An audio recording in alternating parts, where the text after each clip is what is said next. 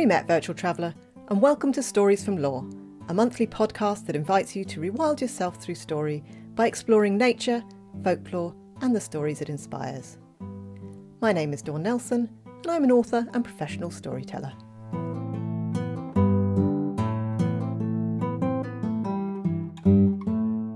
Welcome to season four, and the first theme for this season, as chosen by patrons, is the Horned Gods. In this episode, I will explore the Prince of the Forest, which is, of course, the stag, and its associated folklore, gods, and mythology. Before I start this episode, I do have a little bit of news. For those of you that haven't yet seen my posts through my other platforms, the last two months have been full of book writing and learning new stories. But as always, life doesn't necessarily take you down the path you were expecting it to. Sometimes a new path reveals itself in the forest, and this month that's exactly what happened. I've been offered a job in heritage and landscape interpretation. It's a temporary contract for 9 to 12 months, and well, it's an amazing opportunity for me to use what I've learned over the last six years about nature, landscape, story, and heritage interpretation, and then build on that with a team of individuals who are working in the same area. Because this is a full time position, but only temporary, I will be continuing with my existing storytelling commitments in the form of the shows and events, Plus, how could I ever stop telling stories, to be honest? However, this does mean that I will be taking a little break from the podcast to give me a chance to see what my workload is like and how I can balance that against my current commitments. I hope to be back with the podcast in the new year, if not before. But for now, grab yourself a cuppa, find a comfy spot, and come with me into my local woodland where deer, rabbits, marbled whites, and wrens roam free.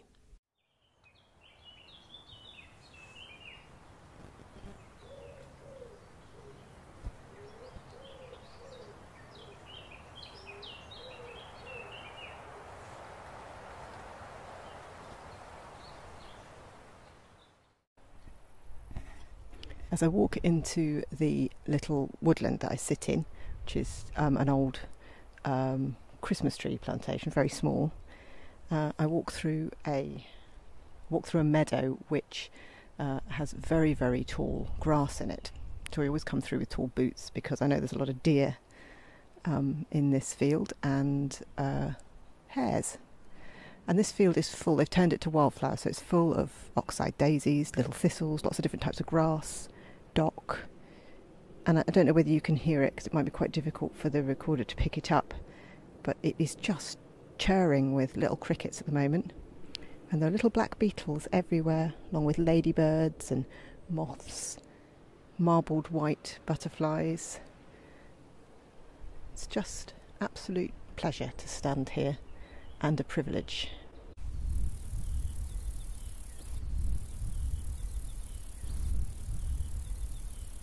Got fresh green teasel and as I walk into the pine wood I can smell the pine.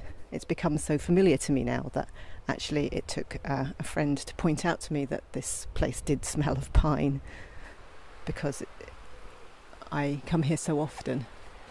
It's become just something that I'm used to. Find a female pheasant feather on the ground thistles as tall as my head,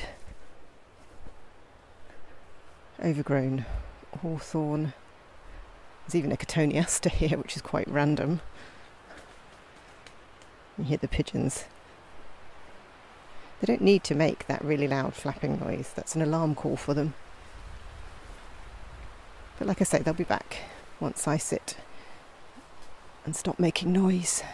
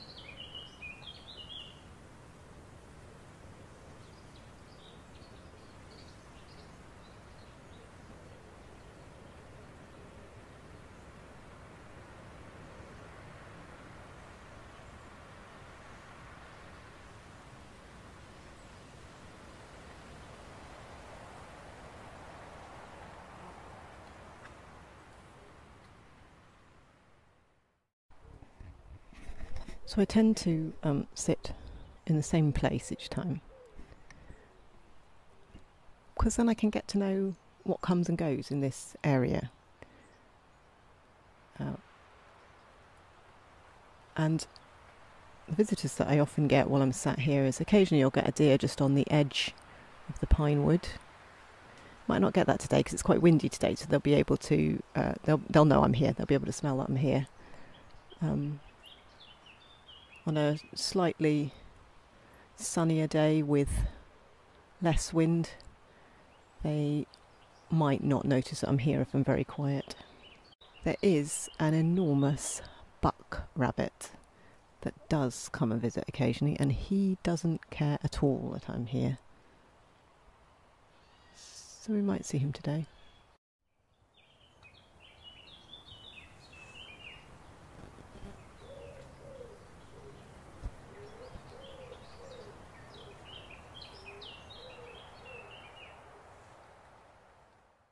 patch where I'm sat has got little tiny baby brambles and ivy.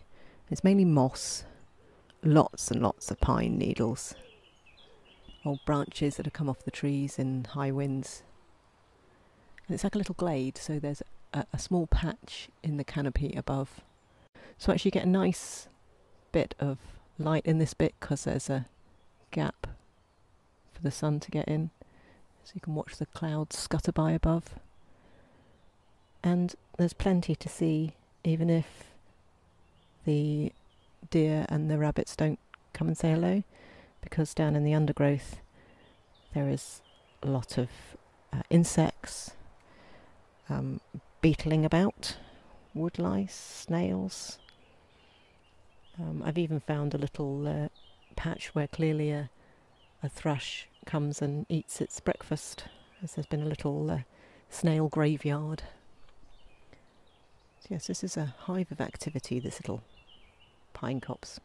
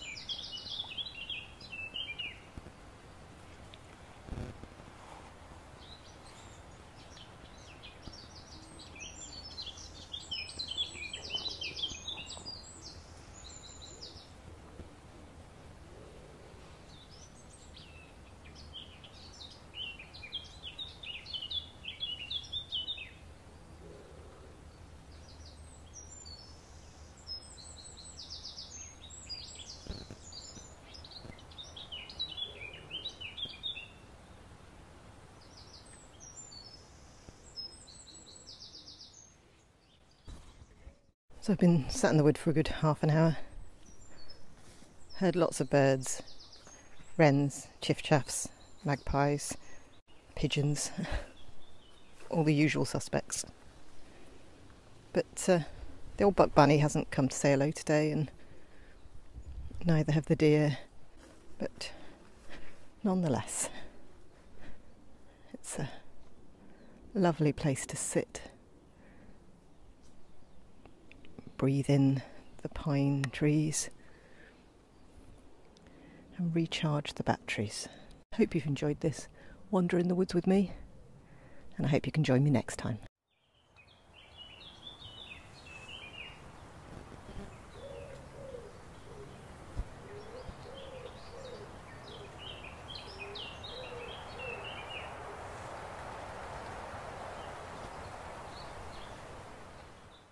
Whilst I wasn't joined by any deer during that little trip to my local woodland, I have had several encounters with deer in that area. During the autumn, they are easily seen grazing by the edges of the woods that back onto the fields of arable crops. And this year, a few times in the spring, I've noticed the odd head pop up above the long grass of the fields which are being renatured in preparation for the farm becoming organic. Some of you will also remember my posts on Instagram about a deer which comes and barks at me while I'm sat on my sunrise visuals early in the morning. You can find a little video of this deer in the highlights on my Instagram, and it will be featured in my next book, which I'm currently writing. It's quite a character. Moving back to the wilds of the forest, ever since William the Conqueror first sectioned off the land and created forests for the express purpose of hunting, there have, of course, been poachers. Now, the definition of poacher really does depend on where you sit, on who owns the land. Basically, William's forests excluded commoners from what was once common land, places where they could graze their sheep, collect estovers, which is basically fallen wood that they can use for their fires, and perhaps catch the odd rabbit for the pot. This was just a tacit agreement that we had as a community. Respect the land, and the land will look after you. However, William's sectioning off of the land meant new laws, and new laws meant that many were faced with the choice of whether or not to break those laws in order to survive. Most of the time, these poachers were just people trying to feed their families, but often the punishment if they were caught was death. The following folk song is about a woman who is pleading for the life of her partner, Georgie. He's been caught hunting in the King's Forest. It makes a great story, and I've made some adaptations to the original song, which makes it a little easier for me to sing it.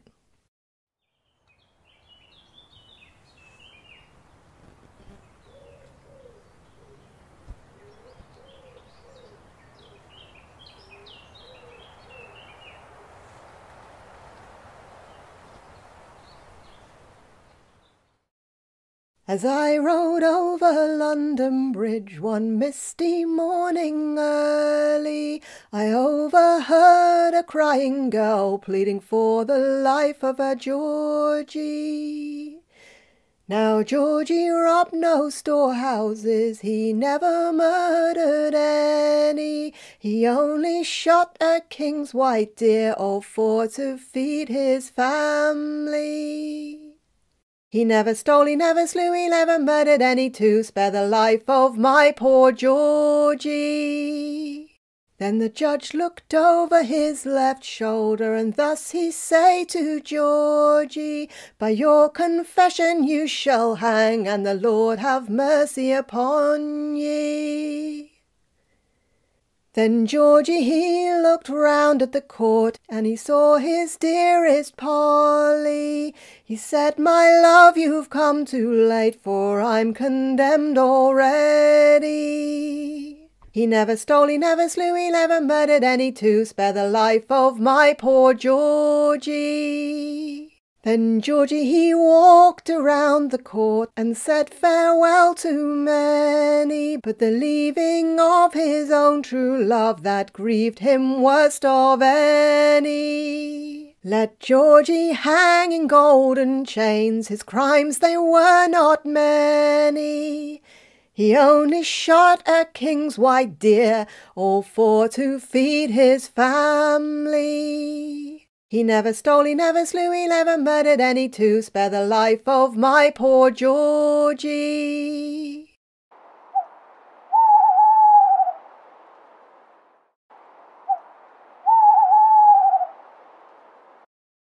As I previously mentioned, William the Conqueror created forests for the primary purpose of hunting game. This included, amongst many things, deer. These swathes of land also included farmland and villages, as well as the forest itself. This meant that anyone living within this area also fell under these rules. They were no longer allowed to hunt on the land or use it for the purposes they had been previously, such as grazing or collecting estovers. As you might imagine, King William loved hunting, and the Anglo Saxon Chronicle states that William the Conqueror preserved the harts and boars and loved the stags as much as if he was their father. So, what was so special about the stag? The stag and the deer have long played a part in British and indeed European history, appearing in many Paleolithic cave paintings and later our spoken legend and mythology, and often morphing into the horned gods that this episode seeks to connect with. But before I delve deeper into the forest to meet the stag, let's take a look at the types of deer found in this country. According to the British Deer Society website, there are six different deer species in Britain. These are red deer, roe deer, sika deer, muntjac deer, fallow deer, and Chinese water deer. The ones you may be most familiar with are red, roe, fallow, and muntjac. We have plenty of roe deer in this part of the country, and in fact, the antlers I wear for my Christmas shows are roe deer. If you're interested, I've put a picture of them and how they were created on the Patreon in one of my behind the scenes posts. The terminology used when referring to these deer can change depending on the species. For example, male red and sika deer are known as stags and the females hinds and their young as calves. Roe deer are bucks, does and kids respectively, and the other three, muntjacs, Chinese water deer and fallow, are bucks, does and fawns. So if our deer are known as stags, hinds, calves, bucks, does, fawns, kids. What's a hart? A hart is used to refer to all male deer over five years old, and it is used in particular in connection with the red deer, which is the biggest of the six. A stag that is less than a year old is called a calf. And then, less than two years, a brocket. Less than three, a spayard. Then, less than four, a staggard. And then finally, a stag until once it is over five years old, it becomes a hart. The king would have been looking to hunt a hart in particular, and one that was hale and hearty, no pun intended, so that it provided plenty of meat for his feast. You can find out a lot more about these wonderful creatures via the British Deer Society website, and there's a link in the show notes if you are interested. As much as I would like to talk to you more about these deer, this is a folklore and story podcast, so let's move on and take a look at the history and lore of deer. In the medieval bestiary reproduced by Richard Barber, the text notes that the Latin name for the deer is cervidae, and that this comes from the Greek word ceraton, which means horns. The medieval bestiary states that if a deer is ill, then it will lure a snake out of the undergrowth, breathe on it to neutralise the venom, and then eat it. It was also thought that deer could heal arrow wounds with a herb called dittany, which is native to Greece. The bestiary goes on to say how the sound of panpipe music will mesmerise deer, and that they will run with the wind if they hear dogs, so that their scent is carried away with them. It was also thought that deer carried the secret to eternal youth, as the bestiary notes that after eating the aforementioned snake, the deer would go and drink from a fresh spring and become rejuvenated. As for humans using the antlers for medicine, it is considered that the right antler is better medicine than the left. Stags are not themselves mythical beings. However, they do turn up occasionally as parts of mythical beings. A peryton is a half deer, half bird, and Sibyl of Atria, a prophetess from ancient Greece, foretold that these peryton would destroy a city. It was also believed that the peryton's shadow as it fell was in fact the shadow of a man, suggesting that the peryton was actually once a man. It was further believed that the peryton had to kill humans in order to regain their soul. In China, the Chinese unicorns had the body of a deer and the tail of an ox, and the hooves of a horse. It brings nothing but good omens, and it is known as the Ki Ilin. In modern day conversation, we use stags to refer to men in certain situations, such as out on a stag night, or, as it's known in the US, a bachelor party. A stag might also be the word that's used to refer to a person who buys new shares on the stock exchange with the express intention of selling them on for a quick profit. As you might expect, throughout history, the stag has lent itself to our culture as a very masculine symbol. They are a symbol of strength and fertility, wildness and mystery. The shedding and regrowth of their antlers could be seen as emblematic of the circle of life and rebirth. This is further borne out by the fact that they are connected with the Norse creation myth. There are four stags that nibble at the leaves of the world tree. Their names are Dain, Dvalin, Duneyr, and Aratha. They can be found, as mentioned, nibbling at the leaves, flowers, and branches of Yggdrasil, the world tree. These four stags are thought to represent the four winds, or perhaps even the passage of time.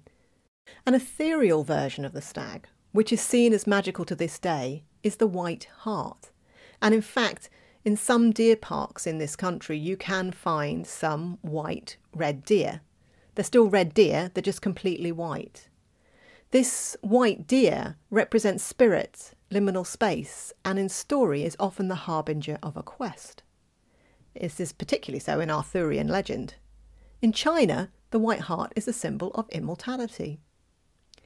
The masculine symbolism of the deer is somewhat reversed, though, in the legend of Genghis Khan, as he was said to have been the child of a hind and a blue wolf, representing a strange combination of prey and predator, the hind or deer being the prey. And indeed, hinds represent a softer side to the deer's nature. There is the golden hind of Greek myth, which was sacred to Artemis. This hind was also known as the Ceryneian hind, and it is a chaste hind with golden antlers and hooves. In some myths, Artemis has four of these Ceryneian hinds to pull her chariot, and it is said that she found five of them in total, but that she allowed the fifth to remain free so that it could serve as one of the labours of Hercules.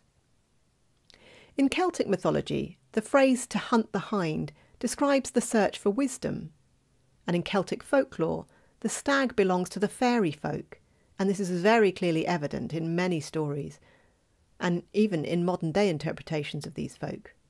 We need look no further than the image of Thranduil, the elk riding elven king, in the film franchise of Tolkien's Hobbit and Lord of the Rings. This has gained the deer the nickname of fairy cattle in the Highlands of Scotland. And whilst we're looking at Scottish mythology, if we go back to episode 1 of season 3, you will remember I mentioned that deer are also associated with the Cailleach, an ancient woman of the winter landscape in the Highlands. In some stories, she is the keeper of the deer, much like the fairies. In Irish mythology and the stories of Finn, Finn finds an enchanted hind in the forest and takes her back to his palace, where she transforms into Sive, a beautiful woman, who he then marries. As he do. When he goes away to war, the druid who first placed the curse on Sive reappears and turns her into a deer once more. She disappears into the forest, and later, whilst he is trying to find Sive, Finn finds a fawn in the forest who turns out to be his child. Several of the Greek goddesses are associated with hinds.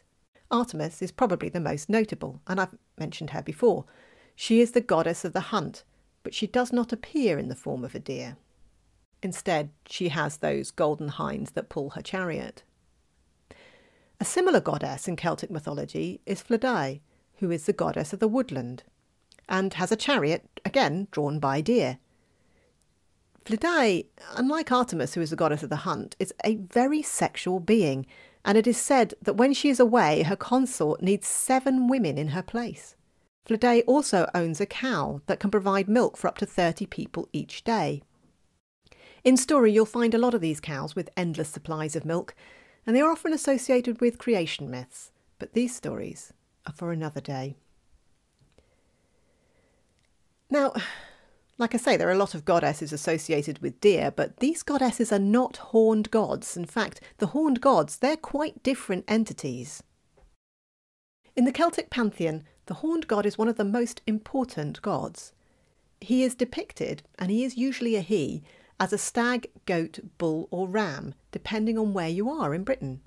His image is usually of somebody that is naked, and he sometimes appears with a serpent that has a ram's head. Again, linking deer and stags to snakes. He also wears a heavy necklace known as a torque, or he holds it in his hand. Like the stag, this god represents fertility and strength, and he is seen as a warrior. One of the most oldest and famous depictions of the horned god is on the inside of the Gundestrup cauldron, which dates from the 1st century BCE. This was discovered in Jutland, Denmark, and currently resides in the National Museum of Denmark in Copenhagen. A slightly more ambiguous god is Pan, appearing as cloven hooved always, but with antlers in some cases, or in other cases just simply as a half goat, half man. He is often found in the company of nymphs and frequently infers a hedonistic lifestyle. In the main, though, Pan is more goat than deer, and this has led to him in some cases being confused with the imagery surrounding the Christian devil. Interestingly, not only is he a god of the wild and domestic animals, but he is also a music deity. He plays the panpipes, which links back to that note in the medieval bestiaries that the deers can be mesmerised by panpipes. When the horned god is mentioned, many of us immediately think of the Celtic horned god, Cernunnos, which is what many people think the Gundestrup cauldron represents. Cernunnos is the ruler of beasts, protector of the forest, and god of plenty. He is seen in human form with stag antlers rising from his head. He is also the Celtic god of the underworld. He too occasionally appears with a serpent that has the head of a ram, and he wears the torque around his neck. So it is often assumed that the horned god and Cernunnos are one and the same. However, I found in my reading that this is not always so. He was thought to mainly have been worshipped in Britain, but when the Christian church started to gain popularity, he, a little like poor old Pan, became demonised. His name can be seen to be derived from the Gaulish word carnan, meaning horn or antler. Cernunnos can still be found in stories and lore today, and in fact he appeared as a significant character in the very dark 2017 French Canadian series Black Spot. I thoroughly enjoyed both seasons of this programme, and it's currently available on Netflix. I've included a link in the show notes in case you're interested. All these antlered gods bring us to Herne, and it is Herne's story that I would like to tell you for this episode. Herne is less of a horned god and more of a horned ghost, and he's said to haunt Windsor Great Park and lead the wild hunt each night. If you're not sure about what the wild hunt is, there are some excellent podcast episodes which you can find on the Wild Hunt, and I would recommend checking out Mark Norman's episode on the Wild Hunt uh, on the Folklore podcast and Holly's episode on the Wild Hunt, which can be found on the History and Folklore podcast. Should you have the misfortune to happen upon Herne, you will find him with baying dogs, thundering hooves, and rattling chains. He will also be antler headed. He often appears at times of trouble and civil unrest and in 1962 some youths who were hanging about in the park at night sounded a hunting horn which was said to goad Herne. The legend goes that they heard the sound of dogs and hooves pretty quickly after blowing the horn, and then witnessed the spectral vision that is Herne the hunter. So, how did this antlered hunter come to be haunting the park? Well, make yourself comfortable, and I'll tell you his tale.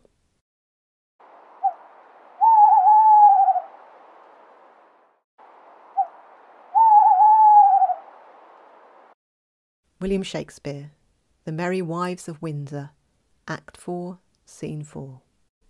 There is an old tale goes that Herne the hunter, sometimes a keeper here in Windsor Forest, doth all the winter time at still midnight walk round about an oak with great ragged horns, and there he blasts the tree and takes the cattle, and makes milch kine yield blood, and shakes a chain in a most hideous and dreadful manner.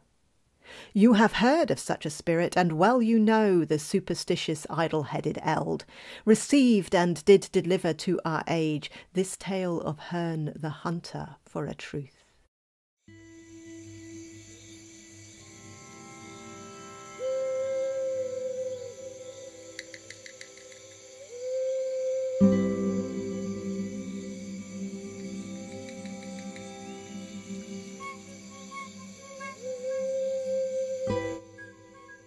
Herne was King William's gamekeeper.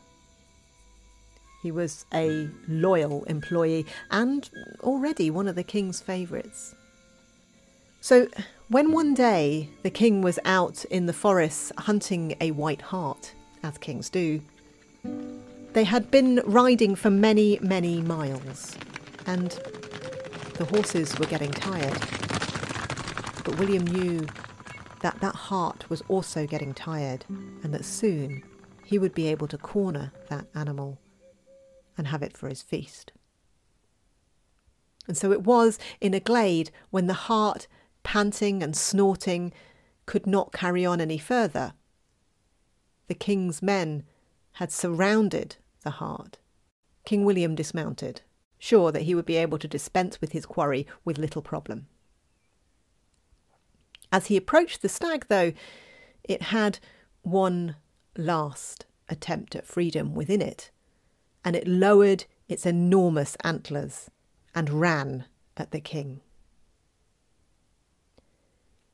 To all who watched, it looked like that would be it. The king would be done for. But Herne, as the king's gamekeeper, knew these animals well. He had been riding beside William for many, many years. He'd watched the way he behaved when he'd cornered a stag, and he knew how the stag would respond. He knew that this would be what would happen. So it wasn't really much of a surprise, to Herne at least, that he threw himself between the stag and the king. His only thought was to protect William. The stag, of course, gored Herne, and he was mortally wounded. As well as Herne, the stag too was done for, for the king's men fell on the stag and finished it. The stag lay bleeding on the ground, its blood mixing with that of Herne, and William stood over the two of them, looking down at the scene. He had no wish to sacrifice his gamekeeper for this deer, and so he told his men to go and fetch the local druid that lived within the forest. This was a wise, wise man who knew the uses of herbs in healing and salves. And when the druid appeared and saw how mortally wounded Herne was, he doubted that he would be able to save him. However, he said to the king that there was one way that they could do this, that what had happened was that the stag had taken the strength from Herne, and so Herne must take that strength back. They skinned the top of the stag's head and took away the antlers and the skin on the top of it. And to the horror of all that were watching, the Druid stitched this skin and stag horns to the top of the dying Herne's head.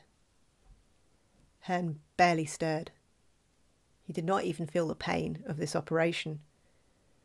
And when the Druid was done, he picked Herne up and took him back to his house in the forest.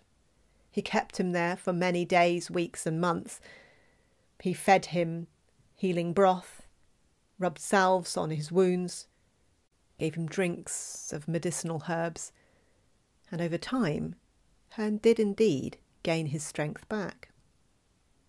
He would never been the Herne he was before this incident, but he was able to return to the king's palace. Before he did that, though, the Druid removed the skin and the antlers from his head. The king was feasting when Herne entered the great hall. He stood up and raised a glass to his new favourite, and, well, he could not believe that before him stood Herne, Herne who had saved his life, Herne who had ultimately helped him to bring down the White Hart. The king invited him up to his table, sat him beside him. Herne ate the finest food that evening, and every evening thereon, every hunt, Herne rode beside the king. Herne could do no wrong. But over time, a jealousy, an envy, and a rage pooled inside the stomachs of those that had been there with Herne that day. Yes, okay, he laid his life down for the king, but did he really deserve this life now? Herne was nothing before he'd done that. Herne was just the king's gamekeeper. Yes, he was a very good gamekeeper, but nothing more than that. They were lords, they were barons. Why was he above them? So it was that they went to the Druid. And they spoke to the Druid in the wood, and they said to him, What have you done to Herne? Why have you given him this presence? This ability to charm the king the way he does. Something must have happened when you put those antlers on his head, because now the king thinks that Herne is his favourite, and he does not have time of day for any of us. He will not do us any favours. He will not give us any more land. No, it is all about Herne. And the lords and the barons, they stood in the house of the Druid, and they said, We demand that you do something about this. Well, said the Druid, there is little that I can do. You are correct. The strength has come from that stag. Herne has taken it for himself because that is what he needed to heal. Now, there is just one thing, but it is a dark magic. It is a binding spell. And if you really want, I can do that. But do be careful, for you do not know what consequences this magic will have, and I do not know. The lords and the barons, they whispered amongst themselves and they decided that yes, this was what they wanted. They wanted this dark magic performed and hang the costs. And so the druid picked up that skin and the antlers that he had sewn to Herne's head, that had this connection with Herne now. He picked up those antlers and he bound those antlers in thick blackthorn. He rubbed baneful herbs into them. And he muttered words of dark magic. The lords and the barons, they sat and they waited until the druid said, It is done. You may return to the court, and you may live with whatever happens. So the lords and the barons, they did. They walked back through the forest and they went back to the palace and they watched. They watched as the days and the weeks and the months rolled by, and they watched as every time that Herne went out with William, William could no longer catch deer.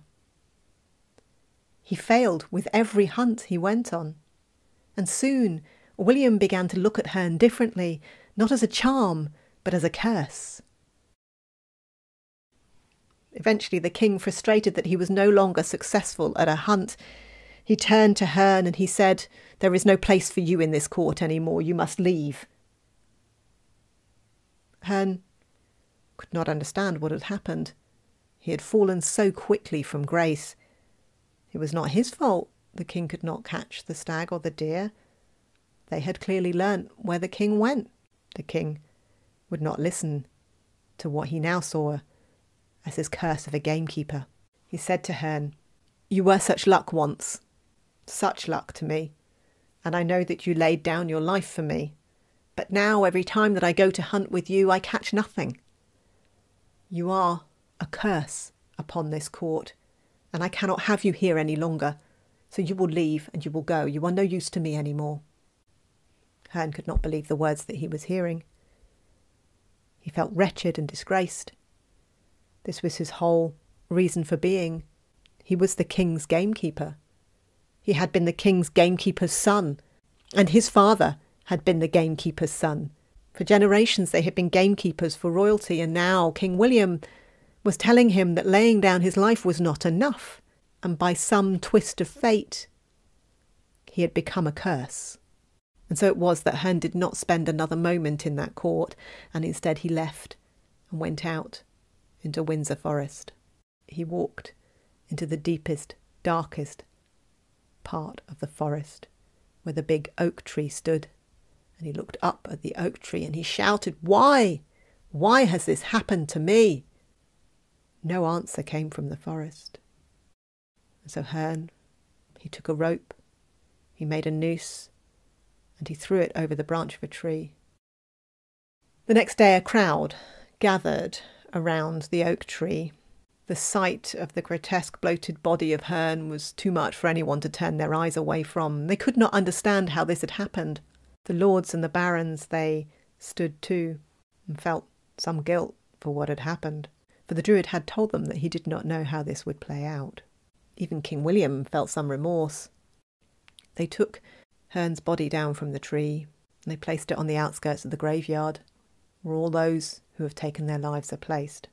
They mourned for the loss of Herne, but they did move on, and they continued to hunt in those forests. And it is said that if the king's hunting party was ever out too late, in that dusk, that liminal space between day and night, they would hear the thundering of hooves that were not with theirs and they would see the spectral being of Herne, with those antlers attached to his head. And he would ride with them, and they could not shake him. And as each one of those barons and lords passed on, it is said that they too joined Herne. And they became a ghoulish, wild hunt. And still to this day, they haunt Great Windsor Park a warning to us all of the magic that the land holds.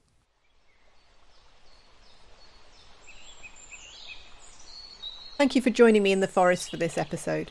As always, reviews are enormously helpful, so if you enjoyed the podcast, please do leave me a review either on Apple iTunes or via my Facebook page. Both are very welcome, and they really help me to grow my audience for the podcast. As always, you can find me on Instagram at dd underscore storyteller on Facebook as DD Storyteller, and on Twitter again as DD underscore Storyteller. I do hope to see you there, as I would love to tell you another story. And of course, I will be back in the new year, if not before, with the next episode of season four. And of course, some news of my new venture. Until then, I'll see you next time. Toodle pip!